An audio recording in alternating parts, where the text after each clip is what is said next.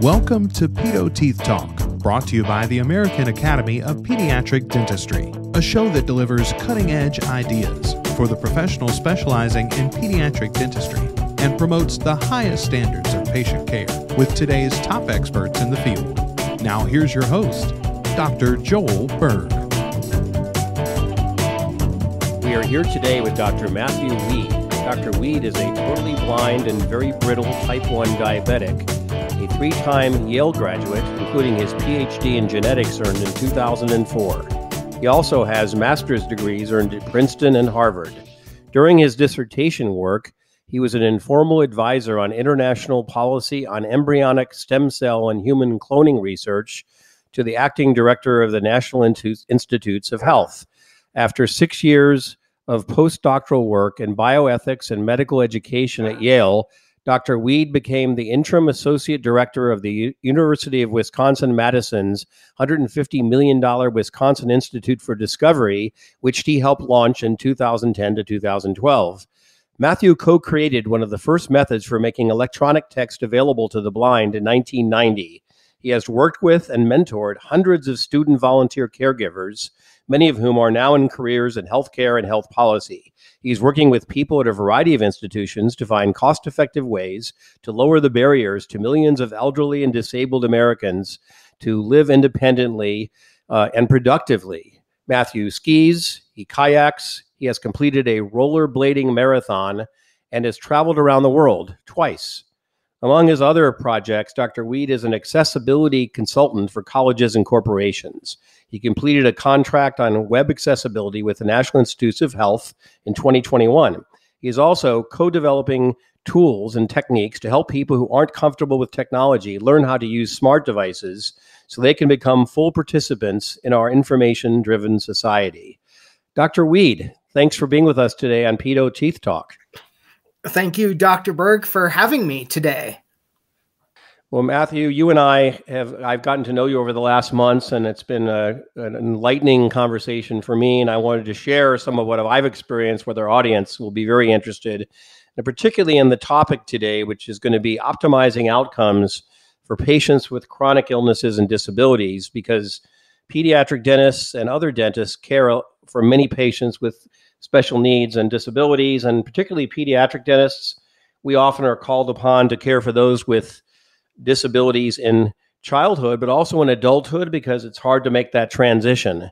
So today we're going to hear your take on that. But before I begin the conversation, uh, it is important that I tell our audience that you will lead, you, Matthew, will lead an important continuing education course to be held on October 29th of this year virtually, managed by Oregon Health and Sciences University. The topic there is access improvement for patients with disabilities. Audience can sign up for this important program in the link online. I'll ask you, Matthew, to tell me more about this later on in the podcast. So, to start out, tell us about uh, the prevalence of chronic health needs in the United States. Yeah, let's. I think that big picture piece is super, super important. Um, according to data from the CDC's weekly morbidity and mortality report published in 2016, 26% of Americans adults have at least one disability, and two in five people over 65 had at least one disability. A 2017 study from the Rand Corporation shows that 150 million Americans are chronically ill in some way or other. Back to data from the CDC, more than 80% of people over age 65 have at least one chronic illness. As of 2020, uh, AARP data shows that at least 53 million Americans are unpaid caregivers for someone with a chronic condition of some kind or other. And of course, as almost everyone listening to this podcast knows very well, there are millions more who are paid caregivers um, in our in our healthcare industry. In short, most of us will face chronic health conditions of some kind or other, or we will face the need to be a caregiver for someone who has a, a chronic concern of some kind or other, or we may even deal with being both. So it's a really big deal, and it's a really big picture deal that we, I think, don't deal with very well in terms of thinking about these issues in our health professions training across the board. And of course, that includes dentists and dental hygienists as well. So, speaking of dental professionals, you and I met around this course that's coming up, and you told me about uh, the work you've done in medical education because our physician colleagues also are not well trained, but you've made a dent in that by offering a program yourself and getting involved in educating the masses of medical students, for example, and nursing students are probably more advanced. But what are the concerns about the lack? What are the manifestations, the concerns about the lack of health professions training in general in general form of uh, regarding special needs patients? Now, we think we do a good job in patient care in the office, but tell us about the problem as it is given that you're at home taking care of your health. Yeah, I think that's a real big concern because realistically we don't think in in our health professions training and I'd, I'd say this is kind of a general thing in terms of whole patient matters. For the patient um, and we'll kind of touch on this in a little bit we're making most of our health decisions and doing most of our healthcare tasks outside of the clinic not in the clinic. So there's a really big problem there if health professionals across the board are not getting exposed to patients and how they function in the real world. But um, let's kind of think for a second specifically about accommodation of patients in the clinic, because that is a concern that uh, reaches into the clinic that we aren't seeing very good results on. Uh, Dr. Lisa Iezzoni up at Harvard, she's at Harvard Med, uh, did a study last year published in Health Affairs that shows that 35.8% of US physicians reported knowing little or nothing about their legal responsibilities under the Americans with Disabilities Act.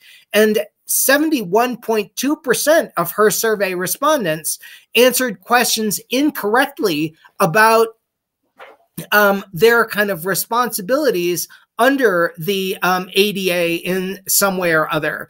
That's a real big concern because also 20.5% were very undereducated about who makes accommodation decisions, and 65 plus percent did not know um, whether they might be at risk themselves in their own practice for lawsuits under the ADA. And 68.4% of US physicians that Dr. Iezzoni surveyed felt that they were at risk for ADA related lawsuits because they they knew that their clinics might not be doing a very good job. So, this is just one indicator, Dr. Iezzoni's data, of the really poor training that we're doing of all of our health professionals with respect to disability accommodation in the clinic, not to mention the whole patient issues that I mentioned a few minutes ago. Yeah, and you've you've talked to me a lot about this at home and the perspective of our training in health professions is either in clinics or in hospitals for the most part, when in actuality, we all know that most health improvement takes place by virtue of behaviors at home. So without understanding that environment, it becomes very difficult. So, so what is the impact then of the limited exposure that you know, health professionals, even in the last years of their training, have to disability in their lives? At least as students, they don't get this. So you're trying to fix this in the medical side and the same in dentistry. Is that right? Yes, absolutely. Um, and I think it's really important to note that uh, the Commission on Dental Accreditation also feels that this is a concern. And in fact, this is the first year, starting in the fall of 2022, that they are requiring dental schools to do training for their students on patients with special needs. But I think we should also look at some of the bigger the bigger statistics that are driving some of this. Um, as I said before, data from the CDC says that 26% of American adults have at least one disability. Meanwhile, uh, data from Meeks et al. Publishing in the Journal of the American Medical Association in 2019 showed that from 2016 to 2019, the number of medical students who reported a disability to their schools increased from 2.9% to 4.9%. So the number of med students who are reporting a disability and therefore have that personal understanding of what it's like to live with a disability um, is is far far below the American adult population. Um, as we'll see in a second, this of course is actually the most friendly cohort that I could find in the literature. Uh, Dr. Sarah Iz- uh, Sarah Walyani, sorry, uh, from the American Medical Association. She published in the Journal of Bioethics of the AMA and showed that of her of her data group, there were less than 1% of students who had uh, a disability of some kind or other. This relative to an 8.9% population in the 18 to 24 age group who actually had a disability um, across the board in our population. There are even more concerning numbers if you reach back a little bit further into the more kind of senior health professionals. Eickmeyer et al. found that from 2001 to 2011, only 0.56% of matriculating medical students and 0.42% of graduating medical students reported physical or sensory disabilities to their schools. Of course, this also means that fully a quarter of those students, or if you could look at it another way, a third, were not uh, completing their their medical educations. There is very little parallel data for dentists, but there is a little bit. Um, a 2006 study published in the Journal of Dental Education by Aaron D. Johnson showed that only 235 accommodation requests for the National uh, Board Dental Exam, step one, of the 54,750 students to take it, um, actually, you know, requested a disability. This is 0.43% of the total population. And 150 accommodation requests for the National Board Dental Exam Part 2 were made. This from 40,412 applications. So only 0.37% of the board of the dental exam step 2 were making a disability request. This in the period 1998 to 2003. So you've got about a parallel uh, between, at that point, the dental students and the medical students making some kind of disability request. But obviously, that's infinitely far below the total disabled or population. And of course, I touched on those chronic illness population figures earlier. That number is even higher. And we don't have parallel chronic illness numbers, at least not that I could find for the students. But the numbers are really low given that so much of our healthcare spending is on disability and chronic illness across the board. We will now pause for a word from our sponsor. Do you need additional CE hours but don't have time to travel to courses? Did you attend the annual session and want to listen to the audio recordings? check out AAPD's Education Passport, an online learning center, where you can earn CE and listen to audio recordings from all of our continuing education courses and more. Visit educationpassport.aapd.org. We are back with Dr. Matthew Weed, who is the expert on providing education to health professionals on how we take care of people with chronic uh, conditions, special needs, disabilities in their homes, and the place where this is the place where they are going to gain the most help for themselves on improving. Yet all our training is basically in clinics and in hospitals. So, Matthew, we we talk a lot about holistic care and seeing people as whole individuals. You know, we all learned that in dental school. Don't just look at the tooth. Don't just look at the margins of this restoration I'm placing think about the patient as a whole, as an individual. So, why is that concept even more important for people with disabilities or special needs? Well, I think it's really important because um, as you look at people with a, a, health challenge, a chronic health challenge, whatever it might be, that chronic health challenge oftentimes is very profoundly affecting their life path and how they move forward. Um, again, touching on medical student data, medical students who had personal exposure and experience of disability were oftentimes far better able to interact with and understand the the kind of physical and practical challenge that patients were dealing with um, as they moved forward. This in a study published um, in the Archives of Physical and Educational uh, re- re- Rehabilitation by Tervo et al. in uh, back in 2002, and these kinds of experiences, these whole person experiences, really affect attitudes within the American and, and Canadian healthcare systems. And I really think that they impact things like communication, things like um, protocol development. They they affect all kinds of things. They affect outcomes, and th- all these things they reduce our length of life. They reduce our life expectancy.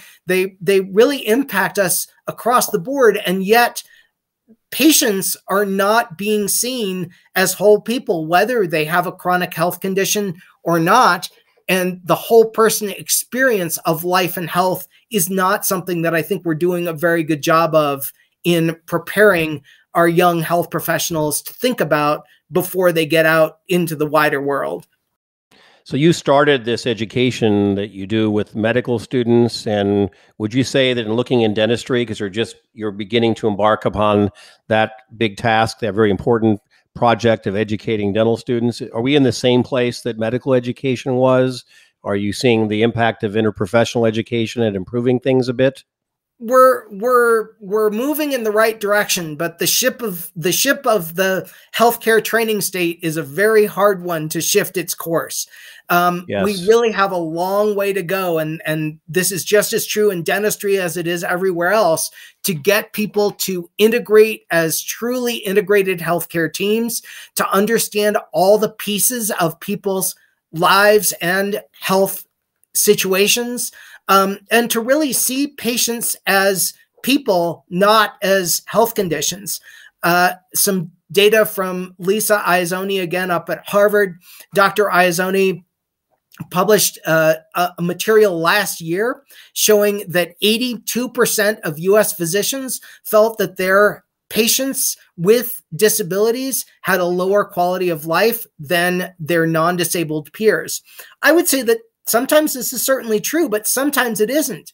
But my question is how can these people make a clear judgment and have a clear sense of their patients' lives and their their kind of situations without getting true exposure to how they live and work in the real world because oftentimes people with chronic health needs are very very good at at kind of finding workarounds and improving their life situations by solving problems that are common to them every day whereas the challenge of going into the clinic is not an everyday challenge. So in some ways they're actually underperforming relative to how they do in their in their normal lives yeah, and I, I think we see that when with because we have a disproportionate number of patients with special needs as pediatric dentists. I often see we see that the caregivers, the parents, most commonly, for these children are way above their care level than the typically developed patient or the one that doesn't have special needs because they give extra attention to the oral care because the problem is worse if they don't manage it. So, what you just said seems true in our pediatric population. So, I think I want to talk about this program on October 29th.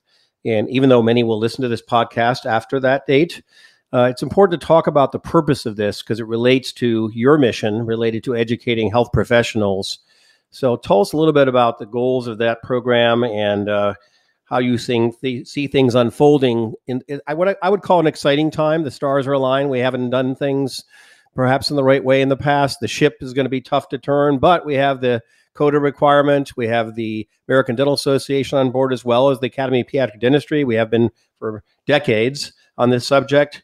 Now we can all move together. So tell us about the program and what you see happening in the future. I'm super excited with this program. Um, we have 11 national experts coming in to talk about various parts of this. Uh, several pa- several experts are going to talk about the clinical accommodations. That, of course, includes uh, yourself and talking about some of the experiences that you have as a pediatric dentist. Um, Dr. Stephanie Munz is going to be talking from the University of Michigan about some of the things they're doing in their brand new clinic to improve um, interprofessional uh, work to improve outcomes for their patients. Um, we have a number of other people from UCSF and from the University of Texas who are going to talk in the morning. Uh, we have some patients who are going to talk about their experiences of healthcare, um, including a practicing dentist in uh, Oregon who is also who also suffers from a, a dental condition that she needs ongoing care for. Um, in the afternoon, we're going to talk about bringing care to the patient wherever that patient may be. The power of de- teledentistry to really impact and change outcomes and the ability of of people to care for patients where they are as opposed to in the clinical setting uh, Doc, Mr. Steve Thorne from Pacific Dental Services is going to talk about his work and his company's work to integrate electronic health records and dental health records so that those parts of a, a patient's health situation are communicating to each other just as the patient's oral health and the rest of their physical health are communicating in their body. Um, more patients are going to talk about some of their life situations. And we have a, a, a, dentist who's going to talk about her work in bringing care to geriatric patients um, in their home environments. Um, I'll be talking about my experiences both in the clinic and at home, and also about accommodations under the Americans with Disabilities Act and some of the requirements that people should kind of have a, a sense for and understand as we go. So, we're really going to try to bring together as many different perspectives in a kind of whole patient aspect as we possibly can so that people really do get a sense for not only what is possible but what they can do in their in their dental operations to improve outcomes for their patients and maybe reduce some of those risks for lawsuits as well so all these things are going to be really great and we're hoping that this will be a first step in really thinking about improving access and smoothing out some of those systemic lumps that we have to really improve outcomes for patients in all forms of healthcare. And so we're hoping to work with more universities as we go forward, including Oregon Health Sciences, to really um, make this an ongoing active thing to improve training across the board and improve communication across the whole patient and across the whole healthcare field as well. Well, Matthew, since I met you a few months ago, I, as one who speaks perhaps on behalf of many who have cared for patients with special needs for the majority of their career, I think you've helped turn my ship in the right direction. I feel like I was going the right way, but you have really focused our attention in the right place, and that's on the patient. That's in the place that they live. And I'm very excited, and I think we've, we're going to recruit an army to help you in your mission to to grow the education and dental dentistry uh, both in the dental education curriculum, but also in the postgraduate and the in the continuing education realm. And I think this is very exciting. So I really appreciate uh, you being here today, and thanks for being with us on Pedo Teeth Talk. Thank you, Joel, for asking me to come. And um, I'm looking forward to hearing your talk on October 29th. And I'm hoping every single one of the listeners out here will will pick it up either then or um, in its recorded form later on. Yeah, they're all going to be your disciples. So I just, we're all charged, ready to go. Awesome. Thank you. Thank you. Do you need additional CE hours but don't have time to travel to courses? Did you attend annual session and want to listen to the audio recordings? Check out AAPD's new Education Passport. The redesigned and improved Education Passport is AAPD's online learning center where you can earn CE and listen to audio recordings from all of our continuing education courses and more. Visit educationpassport.aapd.org for more information. For 10% off any product, use discount code Teeth Talk in the Education Passport store. Pedo Teeth Talk is the show that delivers cutting edge ideas for the professionals specializing in pediatric dentistry. Be sure to check out previous episodes of Pedo Teeth Talk, as well as our other podcast platform, Newly Erupted.